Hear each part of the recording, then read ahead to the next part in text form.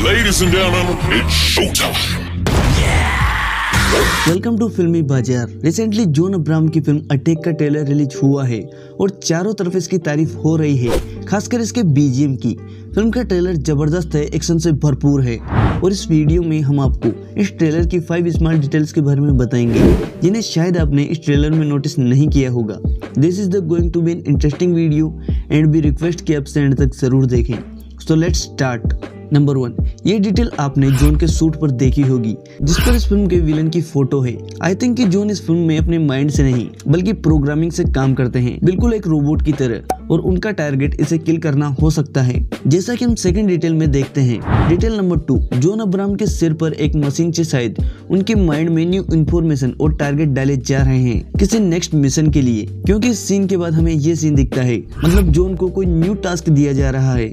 Detail number three NSG जिसका design हम zone के कपड़ों पर भी देखते हैं।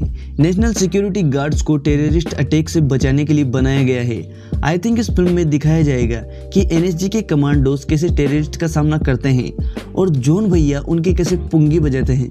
डिटेल नंबर फोर एक सीन में हम जोन अब्राहम को संसद भवन के मॉडल के सामने देखते हैं और पूरे ट्रेलर में लड़ाई भी संसद भवन में ही चल रही है। तो मतलब सीधा है भाई कि टेररिस्ट संसद भवन को खत्म करना चाहते हैं पर जोन अब्राहम ऐसा होने नहीं देते। मतलब वो उन्हें ऐसा करने से रोकते हैं। डिटेल नंबर फाइव इस फ़िल्म की कहानी मुझे कुछ कुछ रोबोट टू की तरह लग रही है क्योंकि एक सीन में रकुल कहती है कि मिशन रोकना पड़ेगा अदरवाइज़ वो मर सकता है। और इसके बाद एक रोबोटिक आवाज़ आती है। Activating super combat combo 2